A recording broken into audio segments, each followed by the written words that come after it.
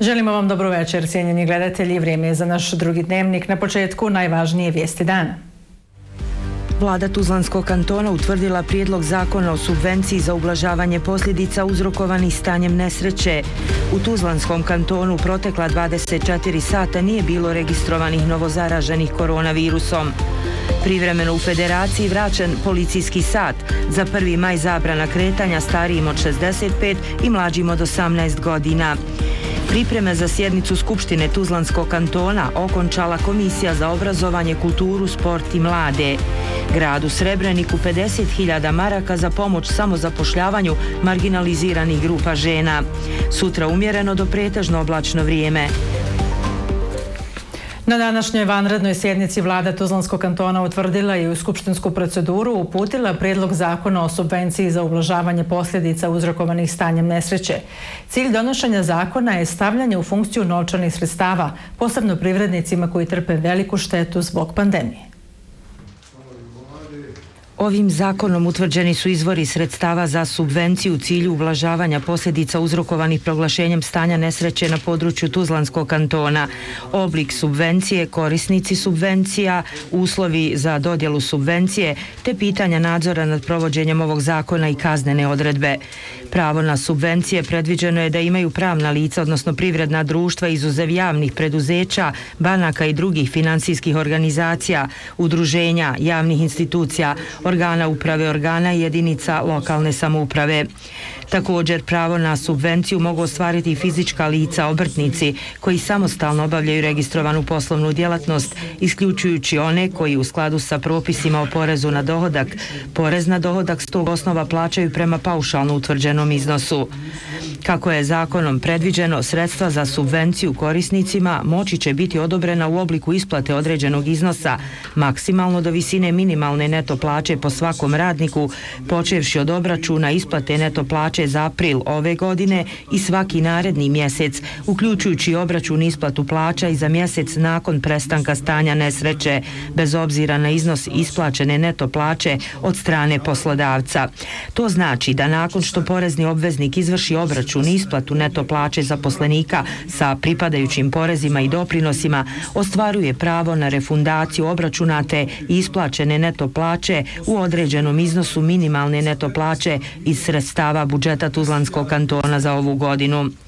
Odluku o utvrđivanju određenog iznosa maksimalno do visine minimalne neto plaće donosit će vlada kantona na prijedlog Ministarstva financija pojedinačno za svaki mjesec za koji se ostvaruje pravo na subvenciju. Kada su u pitanju uslovi za ostvarivanje prava na subvenciju, predviđeno je da imaju sjedište, odnosno registrovanu poslovnu jedinicu na području kantona, da je porezni obveznik zaključno s januarom ove godine obračunao i isplatio plaće sa pripadajućim porezima i doprinosima, da im je naredbama štabova civilne zaštite zabranjeno obavljanje djelatnosti, te da je zadržan broj prijavljenih radnika na dan 29. februar ove godine, osim onih radnika kojima je istekao ugovor o radu i ili koji su sporazumno prekinuli radni odnos. Zakonom su predviđene i mjere nadzora te kaznene mjere koje se kreću u raspon od 10 do 40 hiljada konvertibilnih maraka. Krizni štab Federacije Bosne i Hercegovine donio je odluku o ukidanju obaveznog karantina u trajanju od 14 dana. Nova naredba podrazumijeva da će osobe koje ulaze u BiH sada automatski ići u kućnu izolaciju, a policija će biti nadležna da redovno obilazi ove osobe. U kriznom štabu Tuzlanskog kantona ovu odluku smatraju ishitrenom, jer prema najavama u BiH dolazi oko 6000 osoba iz zemalja koje se smatraju žarištima koronavirusa. Ako ovih dana iz inostranstva krećete kući u Bosnu i Hercegovinu i u zemlju uđete preko graničnog prelaza Doljani, idete u kućnu izolaciju, ali ako recimo uđete kroz prelaz u Gradiški, direktno morate u karantin. Koliko god zvučalo absurdno, to su nova pravila na graničnim prelazima u Bosni i Hercegovini. Entitet Republika Srpska je karantinski smještaj za sve koji ulaze u Bosnu i Hercegovinu, a sa područja su RS-a uvela još od 23. marta i još je na snazi. S druge strane, u Federaciji Bosne i Hercegovine je ovakav oblik karantina uveden 9. aprila i bio je na snazi samo dvije sedmice. Ukidanje obaveznog karantina u Federaciji iznenadilo je sve kantonalne krizne štabove. U Tuzlanskom kantonu u momentu donošenja odluke više od 200 ljudi bilo je smješteno u tri karantinska centra. Mislim da, da, da je slaba koordinacija ova vertikalna i, i nema prohodnosti informacija i mislim da se mi sa nivoa kantona što su ostale kolege u, u razgovoru izjavile telefonskom jako nezadovoljni odnosom federalnih štaba civilne zaštite sa kantonalnim štabovima. Izgubila se komunikacija. Kad ih zovete jednostavno ljudi se ne javljaju. Nema ih. I onda smo mi preuzeli odgovornosti završili sa karantenima i juče smo pustili sve ljudi jer svi negativni U kriznom štabu civilne zaštite Tuzlanskog kantona ne slažu se sa novim mjerama, posebno zbog informacije da se u našu zemlju vraća oko 6000 BH državljana sa adresom stanovanja u Tuzlanskom kantonu, a koji dolaze iz zemalja koje se trenutno smatraju žarištima koronavirusa. Može nam prouzrokovati niz problema. Znači od, od, od, od naglog rasta oboljelih od koronavirusa na Tuzlanskom kantonu. Mi smo do danas 13. dan bez novo, novo zaraženi. Nemamo više zaraženi, izliječeni svi.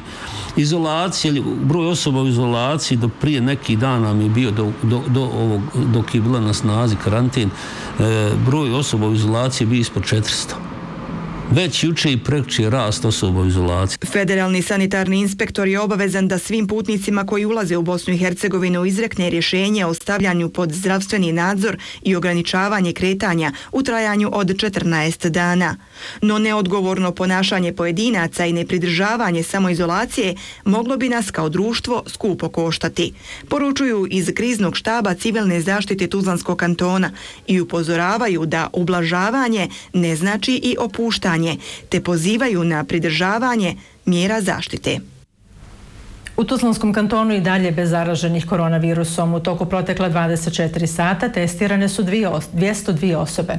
Samo je jedna osoba aktivno pozitivna na koronu. U kućnoj izolaciji je 696 osoba. Broj oporavljenih i otpuštenih iz bolnice do danas je 27. U federaciji pak nova 33 slučaja zaraze koronavirusom. Radi se o 462 testirana uzorka. U RS-u je u protekla 24 sata testirano 677 osoba. Od toga je prisustvo koronavirusa potvrđeno kod njih 59. U povodu prvomajskih praznika nove mjere u federaciji BiH. Prijedlog e, kriznog stožera federalnog ministarstva zdravstva će biti prema kriznom stožeru civilne zaštite da se suspenduje praktično kretanje osoba plus 65 i ispod 18 godina tokom vikenda prvog, drugog i trećeg. Dakle, idemo na određenu restrikciju te da se ograniči kretanje uh, nakon 20 sati za period od uh, u istom periodu. Uh, jako je bitno, razmatrali smo situaciju i razmatrali smo stanje e, imajući u vidu protekle vikende kako su se dešavali smatram da bi jako teško bilo iskontrolisati okupljanja koja moram reći da nisu dopuštena da bi jako teško to učinila i e, ministarstvo unutrašnjih poslova jer jako veliki broj ljudi bi izašao sigurno i e, to bi moglo da djeluje negativno na epidemiološku situaciju. Članovi Komisije za obrazovanje, kulturu, sport i mlade Tuzlanskog kantona okončali su pripreme za sutrašnju sjednicu Skupštine. Na dnevnom redu su, među ostalim, bile izmjene i dopune zakona o dopunskim pravima branjilaca i članova njihovih porodica. Iz dnevnog reda izdvajamo i dopune zakona o osnovnom i srednjem odgoju i obrazovanju. O tome su se izjašnjavali i članovi pomenute komisije. Komisija za obrazovanje, kulturu, sport i mladi Skupštine Tuzlanskog kantona razmatrala je izmjene i dopune zakona o osnovnom i srednjem odgoju i obrazovanju. Date su saglasnosti za navedene pravne izmjene. Pomenute izmjene su se odnosile na stvaranje pravnih pretpostavki da uslijed e, proglašenog stanja prirodne ili druge nesreće ili za vrijeme vanrednog stanja ministar može donijeti odluku o prolongiranju, odnosno odgađanju eksterne mature za osnovne i srednje škole. Pomenuto zakonsko rješenje je ostavilo mogućnost i učenicima, odnosno svršenicima srednjih škola, da mogu podnijeti pojedinačan zahtjev za polaganje eksterne mature ako je to preduslov za upis na fakultet u nekim drugim da li kantonima ili državama. Čaušević kaže da uskoro očekuju odgovor u kojoj je fazi izrada novih pedagoških standarda i normativa u Tuzlanskom kantonu. Danas smo uputili i određenu vrstu upita prema predsjednicima komisija za izradu pedagoških standarda u osnovnim i srednjim školama da nas izvijesti u kojoj su fazi izrade novi pedagoški standardi i normativi, šta su u proteklom periodu poduzeli i kakva im je intencija, odnosno plan za donošenje novih e, standarda i normativa u ovoj školskoj godini. O tem izmjena i dopuna zakona o osnovnom i srednjem odgoju i obrazovanju sutra će raspravljati i skupštinski poslanici. U nastavku dnevnika, gradu Srebreniku 50.000 maraka za pomoć u samozapošljavanju marginaliziranih grupa žena. Sublažavanje mjera Merhamet Tuzla počeo ponovo raditi od ponedjeljka do petka. Sutra umjereno do pretežno oblačno vrijeme. Grad Srebrenik uz još osam lokalnih zajednica u Bosni i Hercegovini uključen je u provedbu USAID-ovog programa podrške marginaliziranim grupama stanovništva. U fokusu su ovaj put žene koje žele pokrenuti vlastiti biznis. Vrijednost sredstava je 420.000 maraka koje će obezbijediti USAID i lokalne zajednice. Sredstva predviđena za grad Srebrenik iznose 50.000 maraka. Uzimajući obzir da je pandemija koronavirusa prouzrokovala velike probleme u bosansko-hercegovačkoj privredi, odrazivši se tako i na najmarginaliziranije grupe stanovništva, Američka fondacija USAID, koja je već duže vrijeme prisutna na prostoru Bosne i Hercegovine, pokrenula je program podrške marginaliziranim grupama u devet lokalnih zajednica u Bosni i Hercegovini. Zajedničkim sredstvima ovog USAID-ovog programa i jedinica lokalne samouprave kreiran je fond za podršku razvoja biznisa marginaliziranih žena u iznosu od oko 420.000 konvertibilnih maraka. Uz Bratunac, Čapljinu, Jajce, Miliće, Modriću, Osmake i Vlasenicu, jedine jedinice lokalne uprave koje su sa područja Tuzlanskog kantona uključene u ovaj program su Gračanica i Srebrenik. Tim povodom upriličeno i online potpisivanje ugovora za realizaciju ovog projekta kojem su uz predstavnike devet e, gradova i općina u Bosni i Hercegovini prisustvovali direktorica misije USAID-a u Bosni i Hercegovini Nancy J. Eslik i direktor USAID-ovog e, programa podrške Jasmin Bešić. Ističući značaj ovog programa za grad Srebrenik, gradonačelnik Srebrenika Niha Domerović istakao je. Moramo biti svjesni i to je manje više stvar svake lokalne zajednice da žene predstavljaju osnovni gradivni element e, svake čelije, svake porodice, svakog segmenta našeg društva. Ukoliko imamo odgovarajuću brigu, ukoliko imamo odgovarajuću podršku prema ženama, naročito prema onoj najugroženijoj skupini žena, zasigurno ćemo imati jedan poseban ambijent, e, jednu pozitivnu vrijednost kad je u pitanju izgradnja porodice kao osnovne čelije našeg društva i e, izgradnje jednog kvalitetnijeg i stabilnijeg kompletnog našeg društvenog sistema. A kreiranjem fonda između USAID-a i lokalnih e, samouprava nastoji se stvoriti prilike za održivi razvoj i preduzetništva marginaliziranih grupa žena kroz poticaje na samozapošljavanje te njihovo veće i lakše uključivanje u poduzetništvo i kreiranje novih radnih mjesta. Iznosi sredstava za pojedine općine i gradove bit će utvrđeni nakon iskazani potreba na terenu za svaku lokalnu samoupravu pojedinačno, a u naredna dva mjeseca prestoji i raspisivanje javnih poziva za učešće u ovom programu. Popuštanjem naredbi i mjere koje je donio Federalni štab civilne zaštite, regionalni odbor Merhameta Tuzla ponovo radi od ponedjeljka do petka. Tokom mjeseca Ramazana zaposlenici Tuzlanskog Merhameta rade i na pripremanju iftara za postače. Zaposlenici Narodne kuhinje i Maret nastavljaju sa redovnim radom s obzirom na ublažene mjere u vezi širenja koronavirusa. Uz pripremu dnevnih obroka pripremaju i iftar za postače u općinama koje do sada nisu imale narodnu kuhinju, ističe direktorica regionalnog odbora Merhameta Tuzla. Početkom mjeseca Ramazana počeli smo pripremati iftare za socijalno ugrožene građane sa područja Tuzlanskog kantona i dijela Republike Srpske. Znači, e, ne, ne samo korisnici kuhinje, nego e, za sve socijalno ugrožene, posebno u opštinama u kojim do sad nismo imali narodnu kuhinju, gdje je bilo ljudima daleko da dođu. Mi smo preko džemata pokušali da dođemo do tih postača, do tih nena i, do, do, i stvarno smo došli i prezadovoljni smo e, na način da smo mogli baš tim osobama da, da pomognemo, odnosno da, da, e, da podijelimo iftar. Kako ističe direktorica Narodne kuhinje i Maret, ranije su napravljeni spiskovi građana kojima je potrebno dostaviti iftare. Obezbeđeni su ramazanska lepina, topla čorba, hurma kao i neko osvježenje.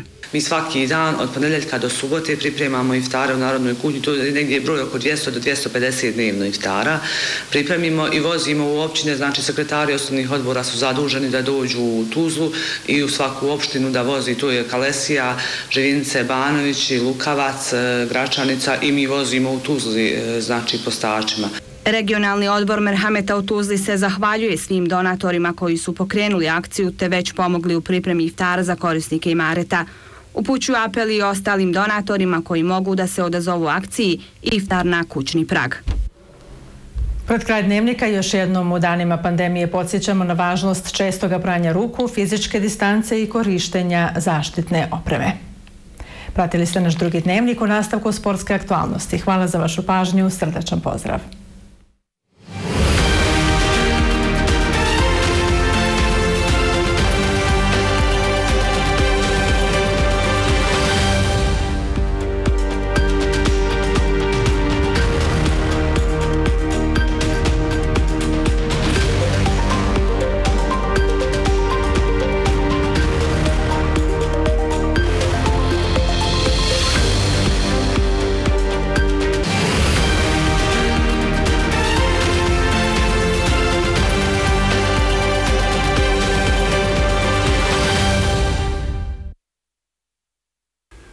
Savez Bosne i Hercegovine dobit će od UEFA pomoć 4,3 miliona eura za borbu protiv koronavirusa, saopšteno iz ove ustanove. Krovna kuća Evropskog futbala UEFA odlučila je pomoći svim svojim nacionalnim savezima donacijom od 236,5 miliona eura. Odnosno, svima je odlučila uplatiti po 4,3 miliona eura, blizu 8 miliona maraka. Predsjednik UEFA Aleksandar Čeferin rekao je da je ponosan na jedinstvo koje je futbal pokazao u ovim teškim trenucima. Naš sport se suočava sa do sada neviđenim izazovom koji je uzrokovala pandemija koronavirusa. UEFA želi pomoći svojim članovima da reaguju na pravi način, a donijeli smo odluku da svaki savez dobije po 4,3 miliona eura, koliko će biti isplaćeno tokom ove i naredne godine, kazao je Čeferin.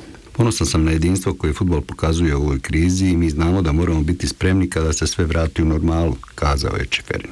On je nedavno rekao kako još uvijek nije spreman odustati od ove sezone da vjeruje kako će se futbal u najbržem roku vratiti navijačima. Kapiten košarkaške reprezentacije Bosne i Hercegovine Miralem Halilović samo dan nakon što je se rastao sa Orlenom pronašao je novi angažman. Novi klub našeg reprezentativca je Metropolitan 92, mlad klub osnovan 2007. godine, a čiji je predsjednik od prošle godine slavni francuski reprezentativac i NBA košarkaš Boris Diago. Metropolitan 92 pred prekid prvenstva zbog pandemije koronavirusa je zauzimao četvrto mjesto u francuskoj eliti. Za tri pobjede manje u odnosu na vodećeg Onaka.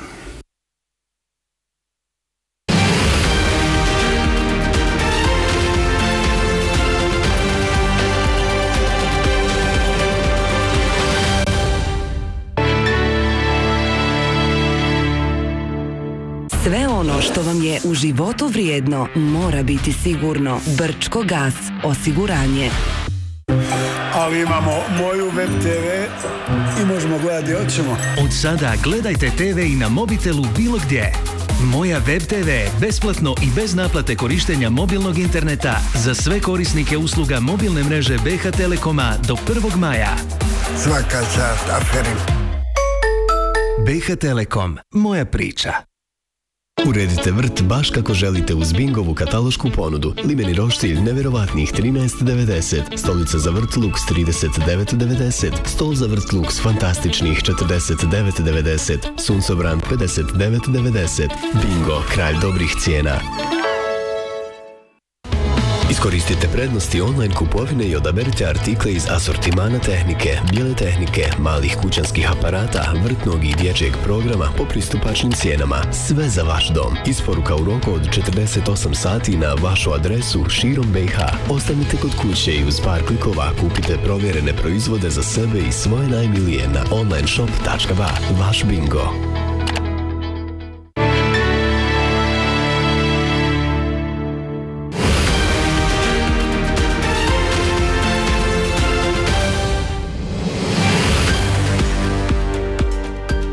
U Bosni i Hercegovini umjereno do pretežno oblačno vrijeme.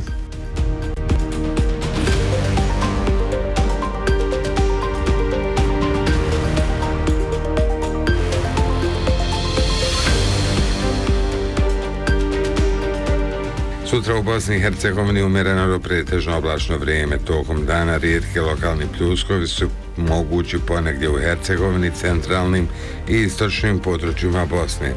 Jutarnje temperatura od 8 do 14, a dnevne od 18 do 24 stepena.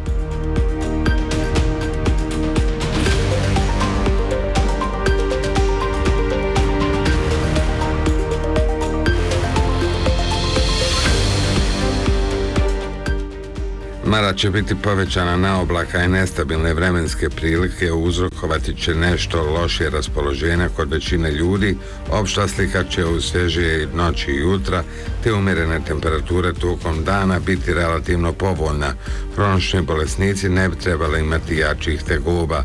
Mjestimične padavine izraženi u Hercegovini krajini povremeno će kvariti ugođaj. Izbihamka zbog nestabilnog vremena te povremene kiše u pojedinim krajevima savjetuju na oprezniju vožnju prilagođenu trenutnim uvjetima i stanju na putevima. Povećana je opasnost od odrona na dioncama koje vode kroz usjehe. Na vozača apeluju da putuju samo u nužnim situacijama i da se pridržavaju mjera zaštite od koronavirusa. Na graničnim prilazima nema duži zadržavanja.